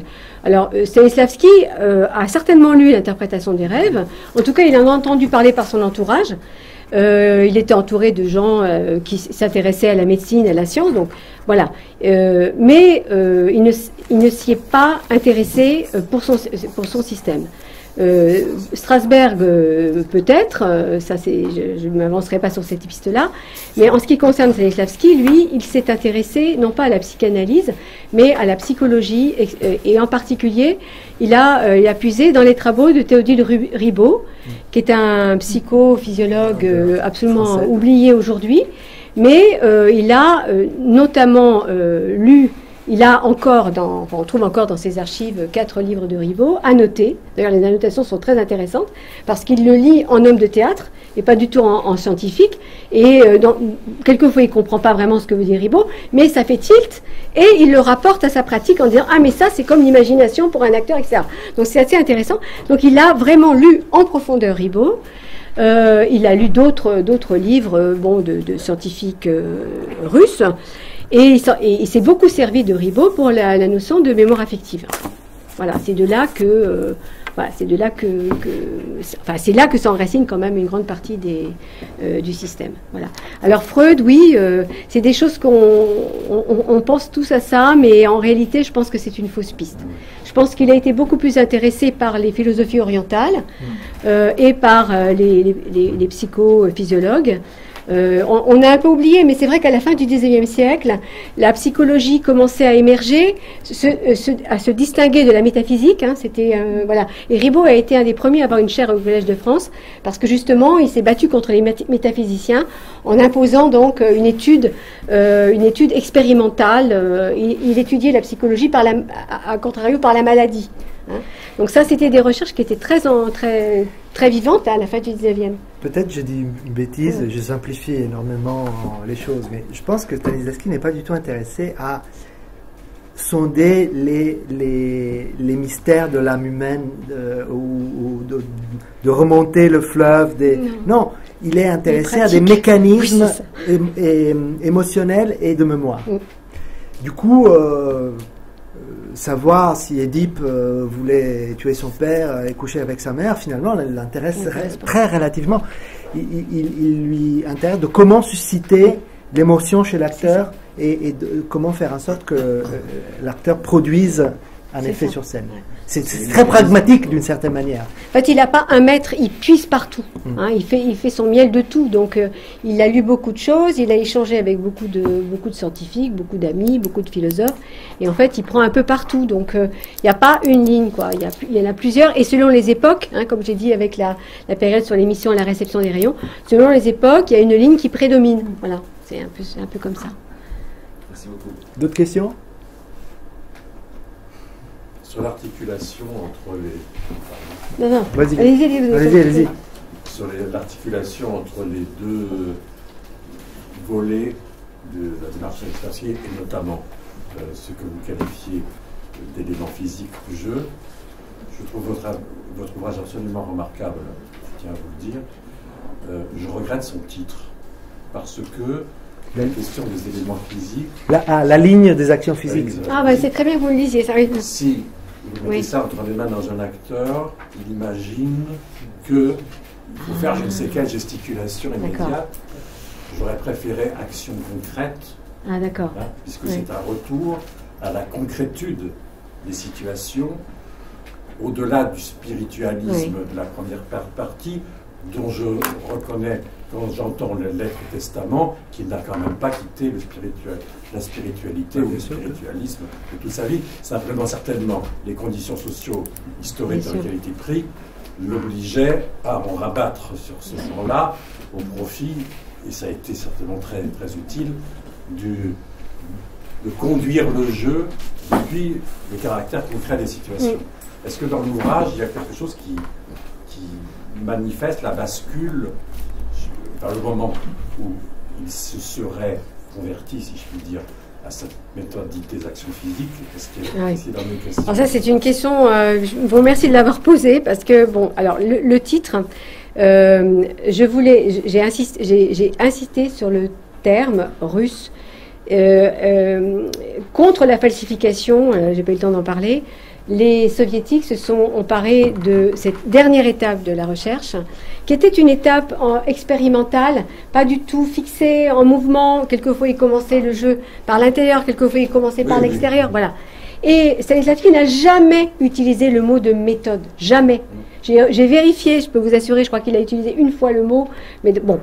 Euh, il a, il a, parlé de ligne, parce que pour lui, c'était une, une enfin, c'est un travail très linéaire. La ligne, comme il appelle ça, la ligne de l'esprit humain, hein, qui va en parallèle avec la ligne des actions physiques. Donc c'est en fait la même chose. C'est-à-dire que c'est euh, l'esprit ou voilà le, la réflexion, l'esprit, les choses immatérielles, avec l'incarnation. Voilà, ce sont ces deux lignes-là, avec ce vocabulaire un tout petit peu complexe. Voilà. Et, mais il n'a jamais abandonné l'un pour l'autre. Et comme vous dites, euh, dans la, ouais, et dans la dernière période, il a été obligé de mettre un bémol, évidemment, sur euh, la vie de l'esprit humain. D'ailleurs, dans, dans les, les, correcteurs de, de, de, son, de son ouvrage sur le système, on lui avait demandé d'enlever euh, le mot esprit. On lui avait, enlevé, on lui avait demandé d'enlever le mot euh, intuition, hein, parce que c'était pas assez matérialiste. Donc il a corrigé, bon, pas, pas partout d'ailleurs, hein, voilà. Donc il y avait effectivement ce type de pression, mais en fait le, titre, bon, j'ai tenu à, mettre, à, rétablir un peu la vérité en disant qu'il s'agit d'une ligne et pas d'une méthode, que rien n'était fixé et que tout était, euh, voilà, tout devait se mener en parallèle à tout moment, voilà. Alors je sais pas si je pense pas avoir bien répondu à votre. Non, non, mais je suis sensible à ça parce que quand on est un tout petit peu de la pratique le fait que tantôt on entre par un biais ou tantôt l'autre, qu'il s'agisse de jouer qui peut se contredire d'une page à l'autre dans son enseignement, de même que Stanislavski va dire à un moment donné, il faut commencer par le costume, et après il va dire, il faut surtout pas commencer par le costume, commencer par là, et puis si ça dérive là, on n'arrête pas, effectivement, pragmatiquement, d'entrer par la voie de la relation, de, fermer les yeux ou pas, etc. Bon, euh, on revient à, monsieur là, euh, il faut savoir quand même que, vous êtes mieux placé que moi pour le dire, mais, mais que Strasberg et, toute la lignée américaine a été désavouée par Stanislavski. Mm. Euh, c'est-à-dire que euh, les histoires de la mémoire émotionnelle, etc., c'est toute, toute petite part dans le, dans le, dans le processus. Alors oui, on peut quand même regretter aussi, Dieu merci, ça va être corrigé, parce que bon, j'ai 70 ans bientôt, ça fait 40 ans que je demande de traduire Stanislavski dignement, et ça va être fait enfin. Hein, On espère, oui, oui. Il faut savoir aussi que nous connaissons Stanislavski à travers les la version américaine. C'est-à-dire on a traduit Stanislavski de l'américain en 1948. on est quand même très loin de, on est très loin de. Céline, tu avais une question? C'est un, peu, petit peu anecdotique, mais quelle est la langue de Stanislavski quand on l'a traduit? Est-ce qu'il y a des idiomes particuliers des... Je sais pas? Bon, bah Céline, en fait, euh, voilà, vous, posez la question. Euh, euh, voilà, ce que je disais tout à l'heure, c'est que la, langue de Stanislavski, elle est, assez compliquée parce qu'elle est, parce qu'elle est, elle est, elle est marquée par le temps. Elle est d'abord oui, elle est celle de quelqu'un qui ne sait pas trop écrire non plus, c'est pas un homme de plume. Hein. Donc voilà. Et c'est surtout, je, je, disais qu'avant la Révolution, c'était une langue assez lourde, c'est-à-dire avec beaucoup de propositions, euh, beaucoup de, retours en arrière. Enfin, c'était donc quelquefois j'ai été obligée de couper parce que parce que ça n'avait pas de sens en français. C'était un peu à la Proust, si vous voulez, hein. Euh, avec beaucoup d'expressions très obscures, des images euh, un peu bizarres. Euh, c'est d'ailleurs une des raisons pour lesquelles Elisabeth Abgood, la traductrice américaine, lui a demandé l'autorisation, quand elle a traduit depuis le russe en américain, de simplifier, hein, d'enlever certaines métaphores parce qu'on ne les comprenait pas. Donc c'est une langue un peu compliquée. Je, dois dire que le style de Nemirovic Danchenko enfin c'est plus facile à traduire Nemirovic Danchenko. C'est plus ennuyeux à traduire parce que c'est une langue administrative, bon.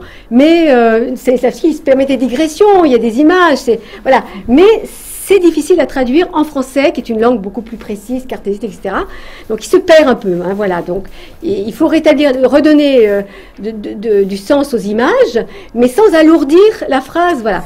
Alors par contre, la, révolution. Ah, voilà. voilà. À la révolution, euh, bon, euh, je suis un peu passionné de Bulgakov, vous l'avez entendu.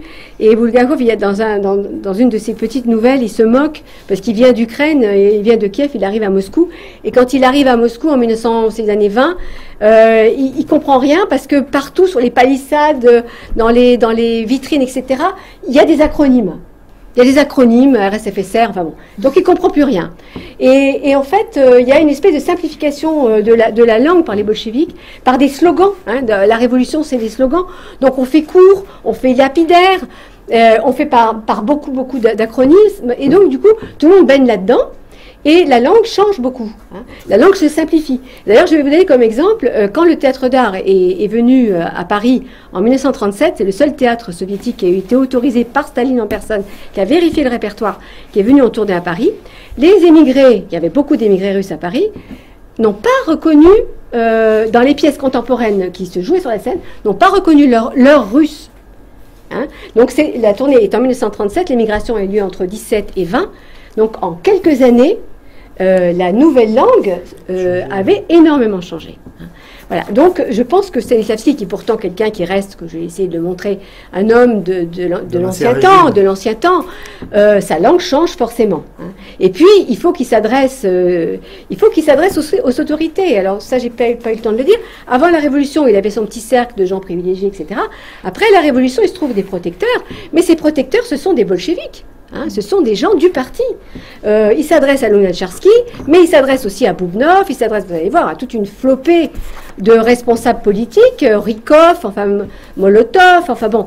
Et donc à ces gens-là, on ne peut pas leur servir la, langue de l'ancien temps. Il faut bien s'adapter. Donc la langue se simplifie, euh, les phrases sont de, plus en plus courtes. Alors il n'utilise quasiment jamais d'acronymes, hein, mais il, il, essaie d'éviter ça. Mais voilà, la langue, et finalement, c'est plus facile à traduire euh, après la Révolution. Je, vous propose quand même, avant de terminer, de lire. Non, vas-y, vas-y, vas-y, s'il te plaît. La dernière, euh, c'est la dernière lettre. Hein. Euh, oui, oui, oui, la dernière, la dernière. lettre de Stanislas. À sa femme Lina Chère, très chère Maroussia, je t'embrasse, je me languis, mais je suis heureux du fond du cœur que tu te sentes bien et que de la vie de tous tu sois pleine d'énergie et de vitalité. J'ai cessé toute activité et je ne pourrai sans doute plus revoir le studio. Il reste deux présentations à faire, la première le 21, la partie dramatique d'Hamlet, et la seconde le 23, Kyokyo-san. Mais ce qui me fait le plus souffrir, c'est de devoir écrire des articles. Deux pour le 40e anniversaire du théâtre dans un recueil moscovite et un pour le 20e anniversaire du Komsomol. Je m'y suis pris à deux fois pour les écrire, mais sans succès. Le pire est que pour cette maladie-là, il n'existe pas de médicament qui pourrait déclencher un flot d'idées. Le peintre Oulianov, dès qu'une occasion se présente, vient peindre mon portrait. Le pauvre. Il est difficile d'avoir affaire à une nature telle que moi. Je lis les critiques que l'on m'a envoyées sur la tournée du théâtre à Leningrad. Nous n'avions jamais été encensés comme aujourd'hui, même à la période la plus brillante du théâtre. N'est-ce pas là le signe de la dégradation de notre art?